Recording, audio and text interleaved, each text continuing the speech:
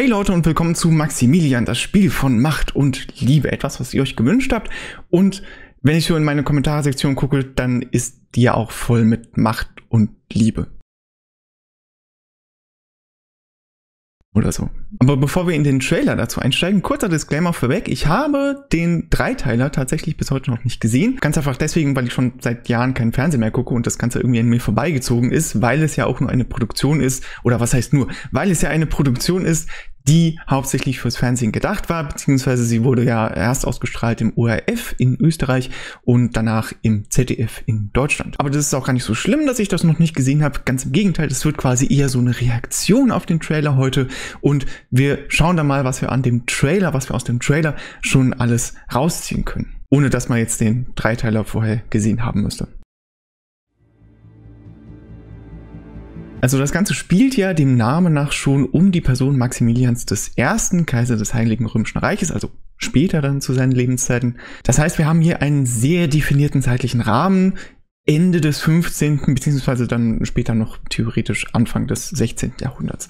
Wobei ich dem Trailer nach bezweifle, dass es Anfang des 16. Jahrhunderts noch spielt. Allerdings, was wir hier haben, ist so die Vorbereitung einer Schlachtszene, die nicht ganz in die Zeit so passt. Also gerade wenn man sich so die Rüstungen hier und da anguckt, das wäre eigentlich eher so 14. Jahrhundert mit viel Fantasie noch Anfang 15. Jahrhundert so in die Richtung Azincourt rein könnte man da noch gehen. Allerdings da wird es auch schon ein bisschen schwierig. Allerdings was mich über diese Einstellung ein bisschen mehr irritiert ist, dass wir hier nur, und zwar ausschließlich Schwerter im Bild haben. Ich will jetzt natürlich nicht sagen, dass Schwerter im späten 15. Jahrhundert nicht mehr vorhanden waren oder dass es sie einfach nicht mehr gab, aber es war halt nicht mehr die primäre Waffe für ein Schlachtfeld. Und gerade in so einer Situation, wie wir es hier haben, wo die Schlacht noch nicht am Laufen ist, ist es eigentlich nicht üblich, dass eine ganze Schlachtreihe an Soldaten da nur mit Schwertern steht. Also da hätte man alles von Pike über Hellebade, über Mordaxt bis hin zu exotischsten Varianten alles Mögliche,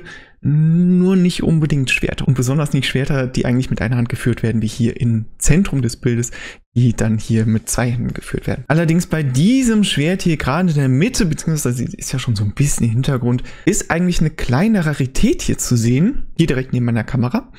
Und zwar diese kleine Ausbuchtung an der Parierstange. Und zwar ist das ein kleines Detail, was eigentlich hauptsächlich reichere Personen an ihre wertvollen Schwerter, meistens an ihre Prunkschwerter, die man dann ausführt zu irgendwelchen Gelegenheiten, zu irgendwelchen Zeremonienzwecken, angebracht haben lassen, um eben während das Schwert in der Scheide ist, das Schwert vor Regen oder Feuchtigkeit zu schützen. Damit eben der Regen da von oben nicht einfach an der Seite reinläuft, hat man so einen Schirm drüber, das ist dann alles recht gut geschützt davor. Das findet man beispielsweise auch bei einigen Schwertern in der Wallace Collection in London.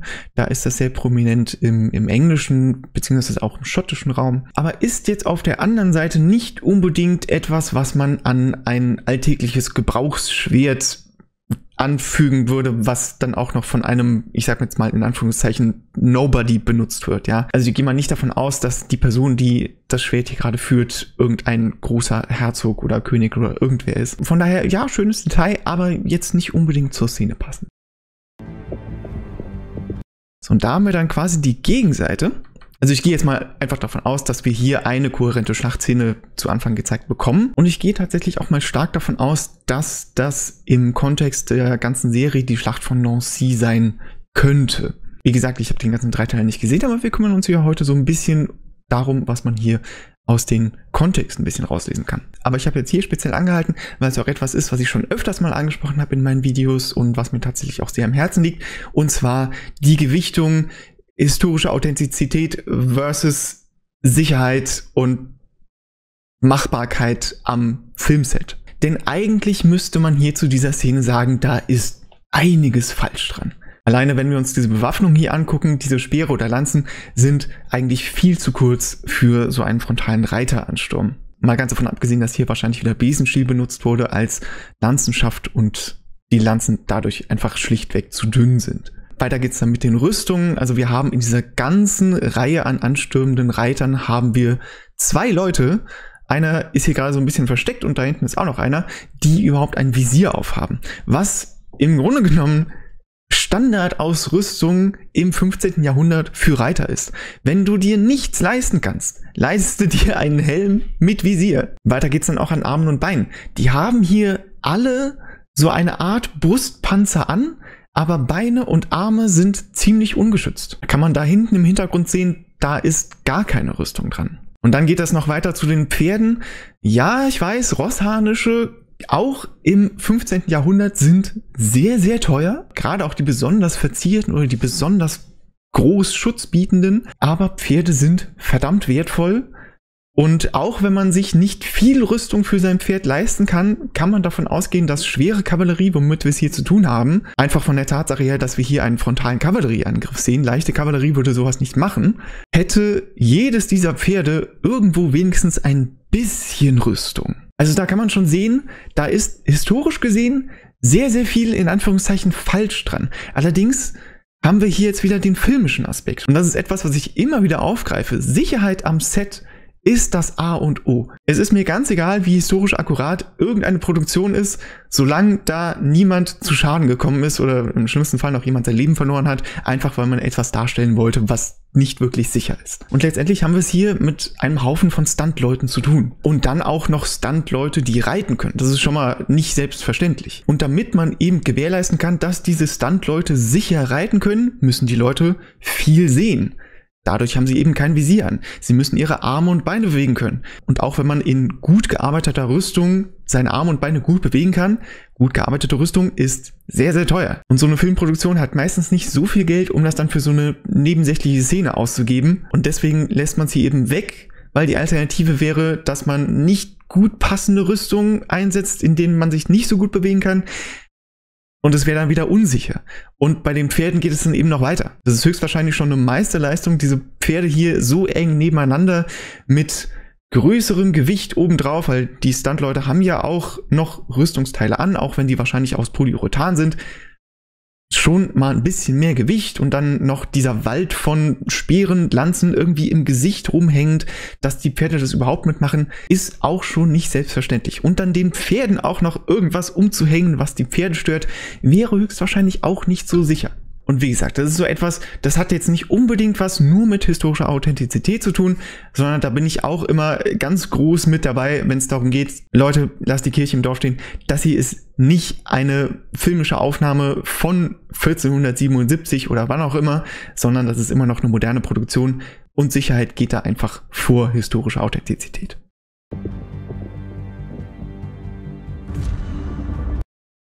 Und genau da halten wir auch nochmal an. Also wenn wir jetzt davon ausgehen, dass wir hier eben schon die Schlacht von Nancy gezeigt bekommen haben, weil wir hatten ja eben auch nochmal diese Jahreszahl 1477 und am 5. Januar 1477 war eben diese Schlacht bei Nancy. Dann hätten wir hier jetzt tot auf dem Boden liegend den Herzog von Burgund oder den ehemaligen Herzog von Burgund Charles le Téméraire oder eingedeutscht Karl der Kühne. Und das ist ja auch letztendlich der Auslöser für diese ganze Thematik zwischen Maximilian I. von Österreich und Maria von Burgund, dass die beiden dann heiraten müssen. Was ich hier dran sehr, sehr wunderbar finde, wo ich der Produktion wirklich die Füße küssen könnte, ist diese Rüstung. Auch wenn sie zugegebenermaßen hier und da kleinste Fehler hat, wie zum Beispiel eine überbordende Anzahl von Nieten und hier das Visier bei diesem Schaller passt auch nicht so ganz, weil es müsste ein bisschen weiter nach vorne gesetzt sein, weil, äh, weil das wäre nicht ganz so gemütlich, wenn man diesen Schaller den ganzen Tag auf hätte. Also je nachdem, wie groß die Nase der Person ist, also ich weiß nicht, wie es bei euch ist, aber meine Nase ist sehr groß. aber das ist wirklich zu vernachlässigen, weil diese Rüstung hier ist Chefskiss. Also wirklich. Wir haben hier nicht nur eine wunderbare Darstellung der deutschen Spätgotik, sondern wir haben sogar einen sehr, sehr typischen Stil, der nicht nur für die deutsche Spätgotik sehr charakteristisch ist, sondern der auch einem einzigen historischen Schmied zugeordnet werden kann, der so berühmt ist, dass wir heutzutage sogar seinen Namen noch überliefert haben, nämlich Lorenz Helmschmied. Und Lorenz Helmschmied ist eben so berühmt, selbst heute noch, weil er sehr charakteristische und sehr bekannte Rüstung gemacht hat, unter anderem auch mehrere Rüstungen für Maximilian I. von Österreich oder auch meine persönliche Lieblingsrüstung von ihm, die Rüstung für Sigismund von Tirol. Beide Rüstungen sind heute noch zugänglich, die findet man in Wien in der Rüstsammlung. Also wenn ihr die mal im Original sehen wollt, fahrt nach Wien, fahrt in die Rüstsammlung, es lohnt sich wirklich. Und diese Rüstung ist eins zu eins da angelehnt. Und zwar bis in mikroskopisch kleinste Details. Also, dass wir hier am unteren Brustbereich diese Flutungen haben, also diese kleinen Kaneluren, die ihr hier sehen könnt, die nennt man eben Flutungen oder hier auch am untersten Bauchriemen, am Bauchreifen, diese charakteristischen Flutungen, das ist eins zu eins nicht nur deutscher spätgotischer Rüstungsstil, sondern eben auch sehr charakteristisch für einen einzigen Schmied, nämlich Lorenz Helmschmied. Wobei man hier bei einer Sache ein bisschen Geld gespart hat, und zwar diese leicht goldenen Verzierungen hier, die man überall an dieser Rüstung hier sieht, die sind hier relativ platt gearbeitet im historischen Original, also mit Ausnahme hier, da sieht man so ein paar Kaneluren drin, auch hier oben oder da auch am unteren Bauch Reifen. Aber im historischen Original sind das hier alles goldene bzw. vergoldete kleine Lilienbänder. Da hat man wahrscheinlich gedacht, ja komm, in der Kamera sieht man das eh nicht so genau. Da lohnt es sich jetzt nicht so viel Geld dafür auszugeben, das dann noch so genau nachzuproduzieren. Allerdings könnt ihr mir, wenn ihr den Dreiteiler gesehen habt, mal unten in die Kommentare schreiben, ob das in der Serie tatsächlich Karl von Burgund oder Charles de Temeraire, Karl der Kühne, sein soll, weil dann passt diese Rüstung eigentlich nicht wirklich. Weil ich habe eben schon gesagt, das ist ein typisch deutscher Rüstungsstil und zwar ein typischer Rüstungsstil für so die Ecke heutiges Südostdeutschland. Also so die Ecke München, Landshut, Nürnberg, so die Gegend, wo auch Lorenz Helmspiel lange Zeit gearbeitet hat. Und sowas würde sich ein burgundischer Herrscher natürlich nicht anziehen. Auch wenn die Rüstung noch so schön ist, aber das wäre allein schon ein politisches Statement und Burgund und das Heilige Römische Reich waren jetzt die letzten 200 Jahre vor 1477 nicht so die besten Freunde. Mal ganz davon abgesehen, dass Burgund ihren eigenen Rüstungsstil zu der Zeit hat, der auch so ein bisschen in Konkurrenz steht mit dem gotischen Stil. Also letztendlich würde sich diese spezielle Rüstung ein burgundischer Herzog nicht selbst anziehen. Aber wo wir gerade schon bei teuren Rüstungen sind, hier ein kurzes Wort zum Sponsor des heutigen Videos, NordVPN. Heutzutage ist man ja ständig im Internet unterwegs und hinterlässt überall seine privaten Daten, ob man will oder nicht, wenn man sich da doch nur mit einer digitalen Rüstung schützen könnte. Hier hilft NordVPN. Mit nur einem Klick beim Start des PC ist man völlig anonym im Internet unterwegs. Das Ganze ist somit sogar einfacher und schneller, als sich eine richtige Rüstung anzuziehen. Aber für mich persönlich ist das noch nicht einmal das Hauptverkaufsargument. Wie ja einige von euch mag auch ich Filme und Serien und habe da auch bei dem einen oder anderen Streamingdienst Abonnements laufen. Allerdings kommt es immer wieder vor, dass Filme zwar auf einer Plattform, bei der ich auch ein Abo habe, gelistet, aber nicht in Deutschland verfügbar sind. Jetzt könnte ich noch ein anderes Abo bei noch einer anderen Plattform abschließen, um diesen einen Film auch in Deutschland sehen zu können, was mich wieder 10 bis 15 Euro mehr kostet, zuzüglich etwaiger Kosten des Films selbst, oder ich lasse NordVPN das für mich lösen. Ein Beispiel. Hurricane Luftschlacht um England. Ein kurzer Suchlauf auf Netflix Deutschland. Keine Treffer. Schnell per NordVPN umstellen auf USA, Seite neu laden und voilà, da ist der Film mit US-amerikanischem Titel Hurricane Mission of Honor. Oder was für mich der Killer war auf Reisen damals, selbst wenn du ein Streaming-Abo in Deutschland hast, sobald du ins Ausland verreist, merkt der Streaming-Dienst das und verweigert dir Zugang. Nicht mit NordVPN, denn hier wählst du dich einfach aus dem Ausland wieder in Deutschland ein und der Streaming-Anbieter denkt, du wärst wieder in Deutschland und gibt deinen Zugang zurück. Also wenn ihr schon Geld für ein Abo bezahlt, geht ihr mit NordVPN sicher, dass ihr den Service auch immer nutzen könnt. Und da hat NordVPN jetzt ein Angebot für euch. Normalerweise kostet ein Abo bei NordVPN etwa 10 Euro pro Monat. Wenn ihr über den Link in der Videobeschreibung auf die Seite geht oder beim Kauf den Code AMITAS eingibt, bekommt ihr bei Auswahl des 2-Jahres-Abos einen Monat geschenkt und bezahlt lediglich 3,17 Euro pro Monat. Ich selbst benutze NordVPN seit einigen Monaten auch und kann euch sagen, dass ich rein rechnerisch schon einiges gespart habe dadurch. Das Angebot gilt allerdings nur für kurze Zeit, also schon mal viel Spaß beim Filmschauen. Danke an NordVPN für das Sponsor dieses Videos und weiter geht's mit Maximilian. Dein Vater ist nicht mehr. Von nun an bist du Herzogin von Burgund.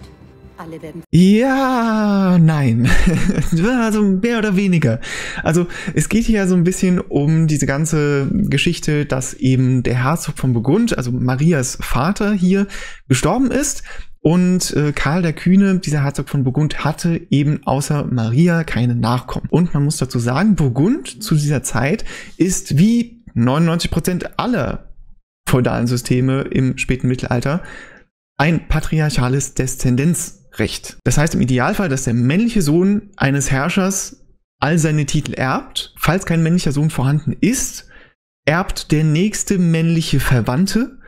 Falls kein nächster männlicher Verwandter da ist, erbt ein ausländischer nächster männlicher Verwandter.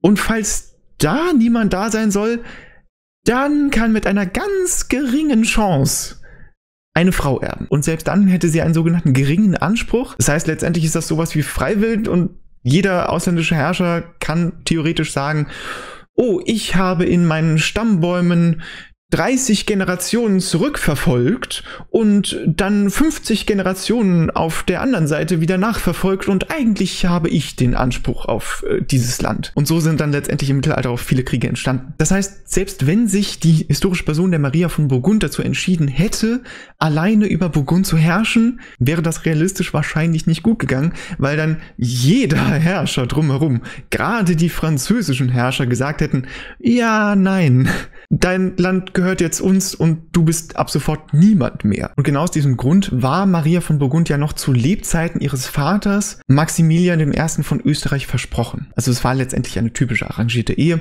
nur dass in diesem Fall eben der Herzog von Burgund zuerst gestorben ist, bevor die Ehe vollzogen worden ist. Wäre die Ehe zwischen Maximilian und Maria einfach schon vorher vollzogen worden, wäre Maximilian sofort Herzog von Burgund geworden. Du wirst Maria von Burgund heiraten. So, hier gehe ich einmal davon aus, dass wir rechts im Bild einmal Ludwig den 11. von Frankreich haben und links im Bild einmal hinter meiner Kamera, fups, da ist die Kamera weg, Karl den 8 von Frankreich haben. Also zu diesem Zeitpunkt noch der Dauphin von Frankreich. Der spätere König, Karl VIII. von Frankreich. Und hier wird es gerade quasi genau um das gehen, was ich gerade gesagt habe. Nämlich, dass sich jetzt der französische König, zu diesem Zeitpunkt eben noch Ludwig XI., daran macht eben das Herzogtum Burgund in die französische Einflusssphäre zu bringen und dafür eben seinen Sohn und Nachfolger Karl VIII. sozusagen benutzt. Von Burgund heiraten. Ich möchte, dass die Bürger so, dann müssen wir auch nochmal kurz anhalten. Jetzt sehen wir den Dauphin auch nochmal nicht hinter meiner Kamera. Und das erste, was mir auffällt, ist, dass er exakt den gleichen Helm trägt wie die tote Person, die wir eben schon aufgrund ihrer Rüstung etwas thematisiert haben. Ich weiß jetzt nicht, wie das in der filmischen Produktion hier gemacht wurde, ob der Helm dann einfach genommen wurde und als Kriegstrophäe nun dem Dauphin gegeben wurde, oder ob der Dauphin hier einfach einen identischen Helm hat was eigentlich auch nicht wirklich realistisch ist.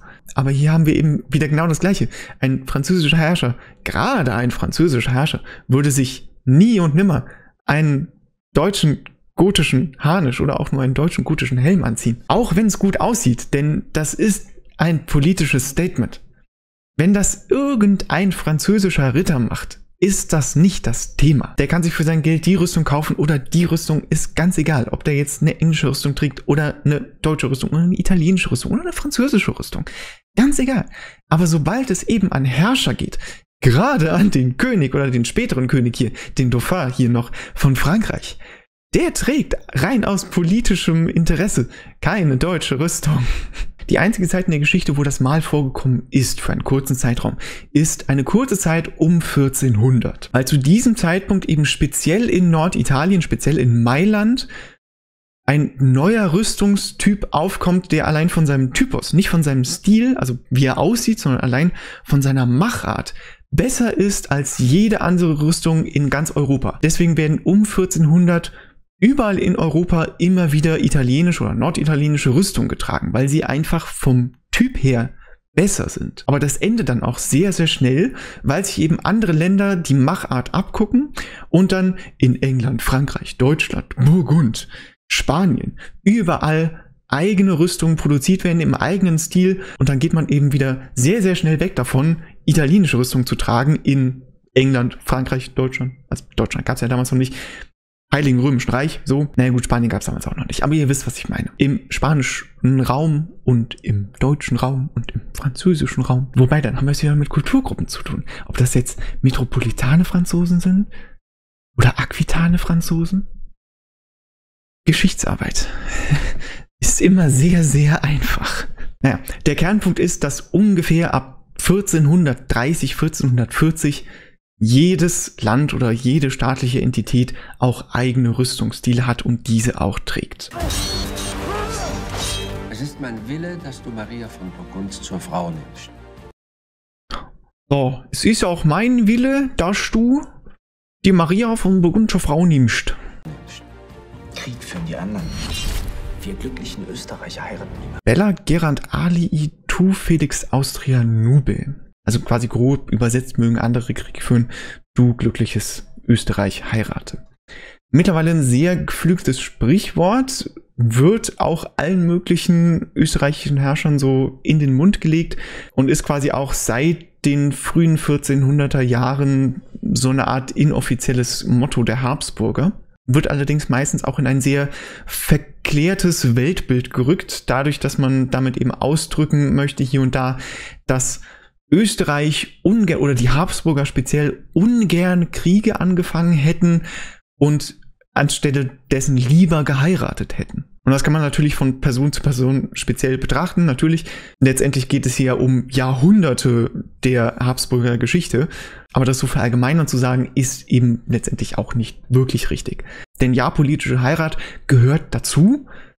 Allerdings auch nicht mehr oder weniger als in allen anderen Dynastien des späten Mittelalters oder generell des Mittelalters, der Neuzeit, und in manchen Familien teilweise der Moderne auch noch. Was es bei den Habsburgern nur ein bisschen prominenter macht, ist, dass die Habsburger über die Jahrhunderte hinweg immer sehr viel Glück hatten oder meistens sehr viel Glück hatten mit ihren politischen Heiraten, so dass sie dann letztendlich über halb Europa irgendwann geherrscht hatten, spätestens zu dem Zeitpunkt als Spanien, also dann wirklich Spanien, nicht mehr nur Kastilien oder Leon oder wie auch immer, sondern wirklich Spanien über halb Europa geherrscht hat. Also nicht nur über Spanien, sondern auch über die spanischen Niederlande oder Neapel. Mal ganz von den ganzen Kolonien in Nordamerika, Südamerika, Zentralamerika zu schweigen. Aber das ist natürlich auch nicht alles. Da gehört eben auch die berühmte österreich-burgundische Hochzeit dazu, die hier auch so ein bisschen thematisiert wird eben. Oder auch später dann, was dann so ein bisschen in die Familie einläuft, Österreich-Ungarn und was da dann auch mit den ganzen Familienbanden und Allianzen zusammenkommt. Ja, das stimmt schon. Allerdings hat Österreich speziell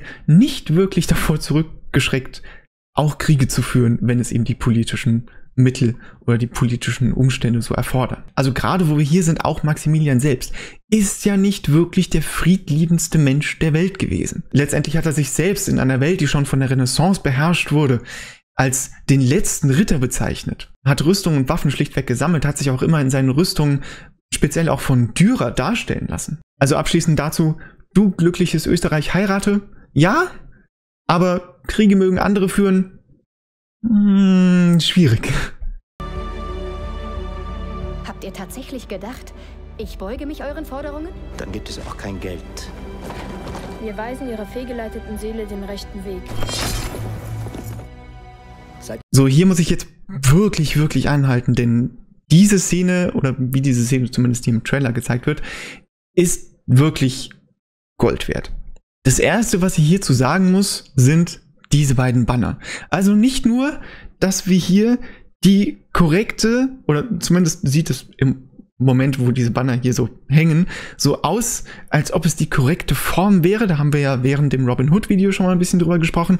Es ist auch noch das korrekte Wappen drauf. Und zwar nicht irgendein generisches Burgundwappen, sondern das Wappen von Karl dem Kühnen selbst, also vom Vater von Maria von Burgund. Was ein anderes Wappen ist, als das burgundische Wappen. Also muss man so ein bisschen differenzieren. Das eine wäre quasi so eine Art staatliches Wappen und hier haben wir eben nicht nur ein Familienwappen, sondern ein wirklich personifiziertes Wappen. Das Einzige, was mir hier jetzt noch ein bisschen drauf fehlt, aber das liegt auch daran, weil man die Mitte dieses Banners nicht sieht, wäre, da ist eigentlich in der Mitte noch ein schwarzer Löwe, ist es glaube ich, auf goldenem Grund. Das sehen wir jetzt hier so nicht. Aber der Rest des Wappens ist wirklich 100% authentisch. Wir haben hier sowohl oben links als auch unten rechts, also es ist ein typisches gevierteiltes Wappen. Oben links, unten rechts haben wir die goldenen Lilien auf blauem Grund, umringt von diesem rot-weißen Band und dann hier nochmal sowohl rechts oben als auch links unten nochmal geteilt der goldene Löwe auf schwarzem Grund und die blau-goldenen Streifen von Burgund. Und wie gesagt, eigentlich wäre dann in der Mitte, was wir jetzt hier gerade nicht sehen, nochmal ein schwarzer Löwe auf goldenem Grund. Das ist wirklich eines der wenigen, wenigen authentischen Wappen, wirklich, wirklich authentischen Wappen, die man in medialen Produktionen hat. Und ich frage mich tatsächlich auch immer, warum eigentlich? Denn wenn wir solche berühmten Charaktere haben, wie hier eben Maria von Burgund, es ist sehr, sehr einfach in heutiger Zeit ihr persönliches Wappen rauszufinden. Es gibt das Internet. Da gibst du einmal kurz ein Maria von Burgund, dann wirst du erstmal nicht viel finden, weil Maria von Burgund erstmal als Frau kein wirklich eigenes Wappen hatte, sondern nur das geerbte Wappen von ihrem Vater. Und dann googelst du kurz das Wappen ihres Vaters, also Karl der Kühne, und dann triffst du genau dieses Wappen. Und trotzdem ist es so schwer, in medialen Produktionen authentische Wappen zu finden. Und deswegen, auch wenn ich gerade gesagt habe, eigentlich braucht das nur fünf Minuten Recherchearbeit, kriegt diese Produktion ihr einen großen Hut ab dafür, dass sie es mal gemacht haben. Meine Gemahlin. Oh, okay. Jetzt kommen wir zu auch einem persönlichen Highlight für mich, nämlich dieser Rüstung, die Maximilian I. hier trägt. Wir blenden den Hintergrund, speziell den linken Bildhintergrund, mal kurz aus und konzentrieren uns wirklich nur auf diese Rüstung, die hier getragen wird. Und zwar ist das hier eine Mischung aus einer sehr, sehr authentischen Rüstung und einer abstrakten Fantasy-Version davon. Nämlich die Rüstung, die Maximilian hier eigentlich tragen sollte, die haben wir schon mal gesehen. Da habe ich am Anfang gesagt, dieser tote Typ, der da liegt, der hat eigentlich die Rüstung an, die Maximilian der Erste hier tragen sollte. Ein bisschen abgeändert noch. Aber alles in allem ist die Form der Rüstung hier absolut authentisch. Bei den Ecken und Kanten, gerade bei den Schulterplatten, könnte man auch sagen, ja, okay, es ist ein bisschen kruder gemacht als Lorenz Helmschmied, aber meine Güte, es war auch Lorenz Helmschmied im Original. Lorenz Helmschmidt ist der Meister für den deutschen gotischen Rüstungsstil. Da kommt niemand dran. Also wenn es hier und da ein bisschen zu eckig ist im Vergleich zum Original, das ist absolut zu vernachlässigen, ja. Und auch ein Detail, was ich hier dran liebe, ist, dass wir hier im Vergleich zu der Rüstung, die wir am Anfang hatten, eben nicht einfach nur hier auf der Brust gerade oder hier am Kragen noch oder hier oben an der Schulterplatte diese geraden soliden, vergoldeten Bänder haben, sondern hier haben wir tatsächlich diese kleinen filigranen Lilien eingearbeitet. Und gerade auch hier auf der Brust noch diese Kreuzlilie. Es ist wunderbar, dass man das hier so aufgegriffen hat. Allerdings zwei Sachen stimmen hier an dieser Rüstung so gesehen nicht. Die eine Sache ist, dass diese Rüstung von oben bis unten bemalt ist. Oder vielleicht soll es auch den historischen Vorgang des Brünierens und des Vergoldens und Brünierens widerspiegeln. Aber ich gehe mal davon aus, dass man es für die Produktion einfach bemalt hat. Und diese gotischen Rüstungen, gerade die berühmten Rüstungen von Lorenz Helmschmidt, waren nicht bemalt. Und besonders diese kleinen filigranen Lilien waren eben nicht aufgemalt, sondern waren ein extra Band, was dort angenietet. War es angenietet? Ich glaube, es war angenietet und dann vergoldet wurde. Aber wahrscheinlich war es hier auch wieder für die Produktion etwas zu teuer, die Rüstung so anfertigen zu lassen, wie es denn historisch hätte sein müssen. Und um diesen Wow-Effekt dann nochmal zu verdeutlichen, hat man eben das ganze Ding dann so brüniert aussehen lassen und hat dann diese goldene Bemalung drauf gemacht, hin und wieder, auch mit diesen floralen Ornamenten hier, die so auch nicht in der Originalrüstung vorkommen. Wobei man hier sagen muss, wenn zu diesem Zeitpunkt, also so 1480, 1485, 1490, da ist so die Hochzeit des deutschen gotischen Rüstungsstils, wenn man zu diesem Zeitpunkt Rüstung noch im großen Stil bemalt hätte, wäre es gar nicht so undenkbar, dass eine Rüstung genau so hätte aussehen können. Von daher auch absolut plausibel. Ein kleineres Detail, was nicht unbedingt hätte sein müssen, ist dieser Umhang mit dieser Fibel hier direkt am Kragen. Und zwar am physischen Kragen. Denn was wir hier sehen, was da so ein bisschen vom Kragen runterkommt hier, ist schon Teil eines Rüstungsteils, was man auch den Kragen oder die Halsberge nennt. Und zwar ist es sehr, sehr wichtig, wenn eine Person einen Schaller trägt, so wie Maximilian hier, dann ist der untere Teil, man sieht das, wenn das Visier jetzt runterkommen könnte und die Linie hier vervollkommnet, dann wäre das Kinn ungeschützt und der Hals wäre ungeschützt. Das heißt, man hat hier unten nochmal ein extra Rüstungsteil, was dann von unten, von der Brust aus rauskommt nach oben, was dann so den, den Hals und das Kinn schützt. Und das ist eben der sogenannte Kragen oder der sogenannte Bart oder der sogenannte, die sogenannte Halsberge, da gibt es verschiedene Namen für. Und dieser untere Teil hier ist eben schon Teil davon. Allerdings hat man sich jetzt hier für diese Szene entschieden, Maximilian einen Umhang zu geben. Und dieser Umhang wird befestigt durch diese große Fibel direkt am Hals. Und dann ist man wahrscheinlich auf den Trichter gekommen bei der Produktion, hm, wenn wir jetzt so einen Kragen haben hier, der von unten hochkommt, dann können wir ja gar nicht so eine große prunkvolle Fibel da anbringen. Wie machen wir denn das? Ja, okay, dann schneiden wir die Halsberge einfach ab und nehmen dann die Fibel stattdessen, dann kann Maximilian hier diesen tollen Umhang tragen. Aber letztendlich ist das absolut nicht historisch. Mal ganz davon abgesehen, dass wenn das hier eine Fibel wäre, dann wäre da hinten auch ein langer Dorn. Und Maximilian oder der Schauspieler, in dem Fall jetzt der Schauspieler von Maximilian, hätte gerade einen langen Dorn direkt an seinem Hals, ungeschützt. Da ist nichts dazwischen.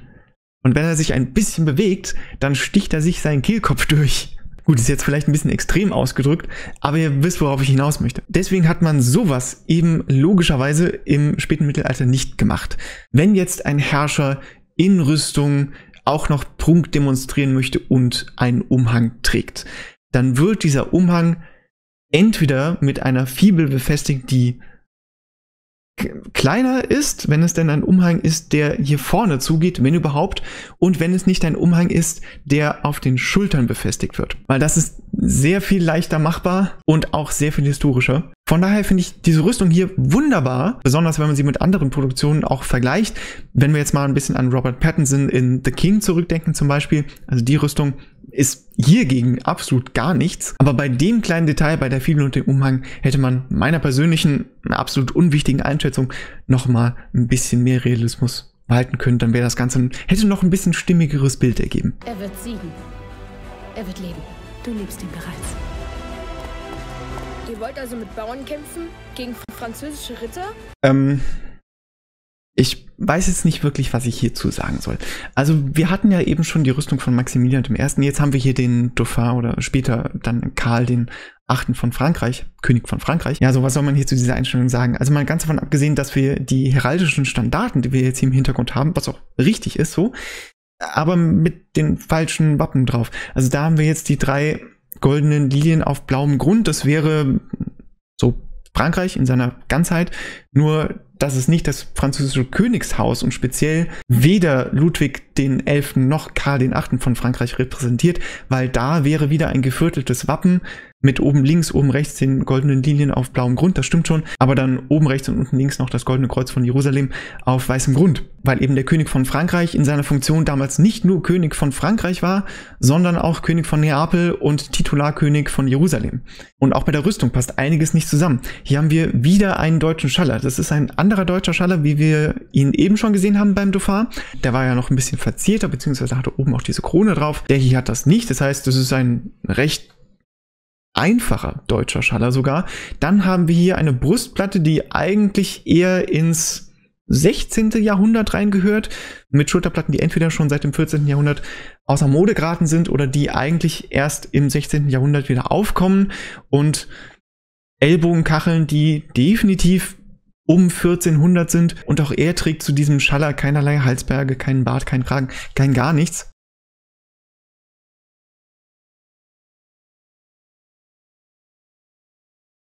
Und selbst seine Gefolgsleute hier direkt neben ihm haben Schulterplatten, die teurer sind oder teurer waren als die Schulterplatten des entweder zu diesem Zeitpunkt, ich weiß nicht, wann er spielen soll in der Serie, noch Thronfolgers oder bereits Königs von Frankreich. Also da ist einiges, wo man noch sagen kann, ja, das ist nicht ganz standesgemäß für einen Thronfolger oder König von Frankreich. Also dahingehend auch so ein bisschen schade, dass man da nicht auch hingeguckt hat, was war in Frankreich zu dieser Zeit Rüstungsmode. Und dann suchten wir uns eine Rüstung raus und geben sie eben hier dem Dauphin oder späteren König von Frankreich, sodass wir eben einen politischen Gegenpol haben zu Maximilian von Österreich und dann später auch Maximilian I. vom Heiligen Römischen Reich. Weil der Trailer, und ich gehe mal davon aus, auch der Dreiteiler, geht ja irgendwie um die Rivalität zwischen diesen zwei Parteien, wenn es um die Nachfolge des Herzogtums Burgund geht, auf politischer Ebene. Natürlich geht es dabei wahrscheinlich mehr um Maximilian und Maria, weil der Titel der ganzen Sache ist ja Maximilian, also nicht etwa Charles Lafable, wie es heißen müsste, wenn dann er hier der Titularcharakter wäre. Also man kann schon verstehen, wieso man dann in der Produktion mehr Geld in Maximilian oder in die Darstellung von Maximilian reinfließen lässt, als in die Darstellung von Karl dem Achten von Frankreich. Aber wenn der große Streitpunkt schon ist, wer die Nachfolge von Burgund bekommt, das Heilige Römische Reich oder Frankreich, und man das Heilige Römische Reich so zeigt und dann Frankreich so, da hätte man noch ein bisschen mehr reinstecken können, damit es wenigstens ähnlich aussieht. Oh ja, hier halte ich auch noch mal kurz an. Ein kleiner Fun Fact. Hier haben wir jetzt ja offensichtlich ein Schlachtfeld mit ganz vielen Toten. Und was ich immer ganz spannend finde in Filmen oder Serien ist, dass die Toten von Schlachtfeldern immer schön aufgereiht nebeneinander liegen.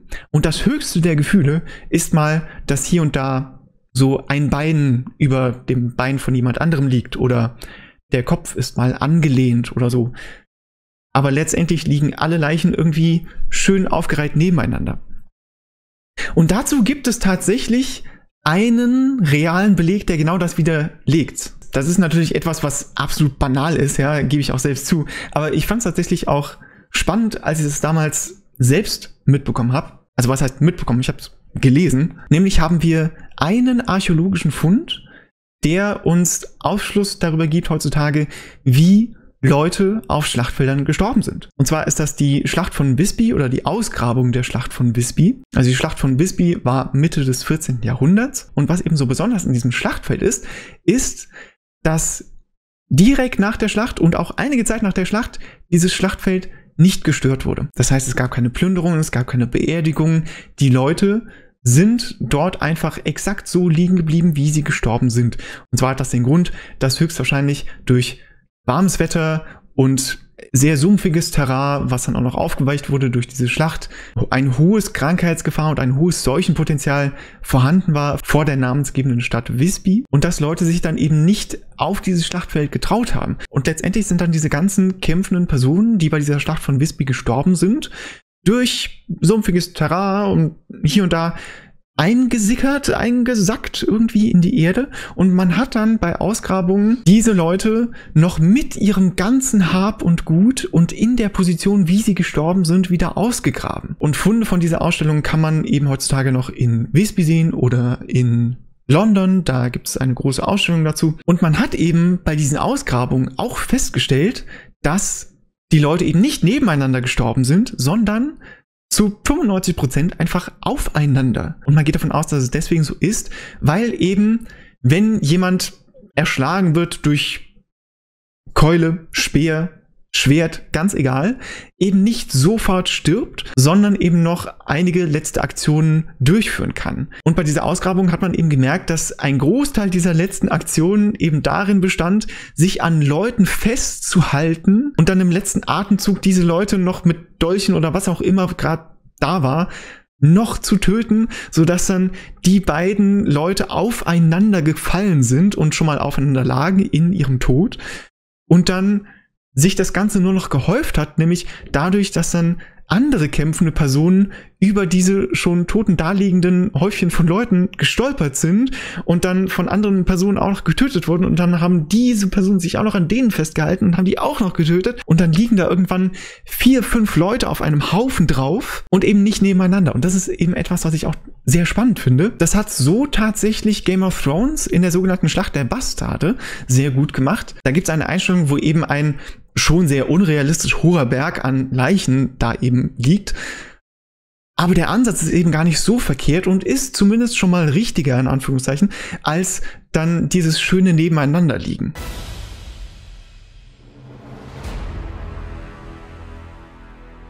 So, viel zu diesem Trailer. Eine Sache muss ich jetzt kurz nochmal ansprechen, was im Trailer nicht so ganz greifbar ist, aber was im Trailer die ganze Zeit so ein bisschen suggeriert wird. Und zwar ist das die Thematik der Erbfolge von Burgund. Und zwar wird es in diesem Trailer so suggeriert und die Leute, die den Dreiteiler gesehen haben, die können es mir auch gerne auch mal in die Kommentare schreiben, ob das auch in der fertigen Produktion so ist. Aber es wird hier im Trailer suggeriert, dass diese Hochzeit zwischen Maximilian und Maria eben nicht unbedingt feststehen würde oder festgestanden hätte. Und als ob speziell Maria sich dann letztendlich dafür entscheidet, Maximilian zu heiraten. Was ja auch erstmal eine moderne Message ist und auch eine sehr wichtige moderne Message in einer Zeit, wo wir nicht mehr in einer Welt von arrangierten Ehen leben oder wo ich zumindest hoffe, dass das so ist bei den meisten von uns da draußen. Aber historisch gesehen, in diesem Fall stimmt es eigentlich nicht so wirklich. Denn die Heirat von Maximilian I. von Österreich und Maria von Burgund war eine klassische arrangierte Ehe. Sie wurde arrangiert von den jeweiligen Vätern, also Friedrich III. von Österreich und Karl der Kühne von Burgund und auch quasi direkt nach dem Tod von Karl dem Kühnen vollzogen. Also Karl der Kühne ist ja am 5. Januar 1477 gestorben und bereits im August 1477 haben Maximilian und Maria geheiratet. Also da ist noch nicht mal ein Jahr dazwischen. Und an der Stelle Gruß geht raus an alle Verheirateten da draußen. Es ist ja heutzutage schon schwierig, eine komplette Hochzeit zu planen innerhalb von einem Jahr. Location und Catering und der Fotograf, die müssen ja alle Zeit haben dafür. Und da sollte man sich ja heutzutage schon ein Jahr im Voraus drum bemühen. Und heutzutage haben wir Internet und Telefon und alles Mögliche. Und damals hatte man das alles eben nicht. Und da haben wir jetzt einen Österreicher und eine Burgundin, die tausende von Kilometern weit auseinander wohnen und die jetzt heiraten müssen. Und da kannst du davon ausgehen, wenn die im August 1477 geheiratet haben und der Vater von Maria ist am 5. Januar 1477, also im gleichen Jahr, gestorben, da hat man direkt nach dem Tod angefangen, diese Hochzeit zu planen. Vor allem, es ist ja nicht irgendeine Hochzeit.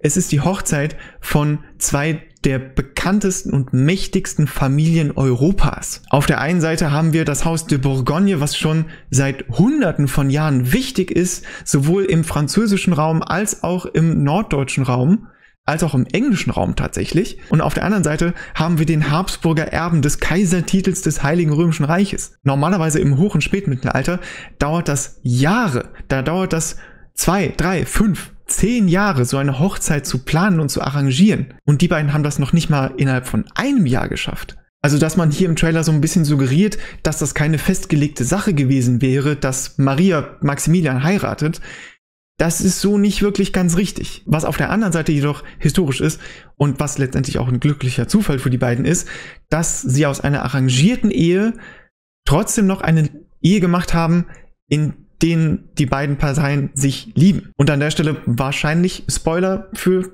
die Miniserie, keine Ahnung.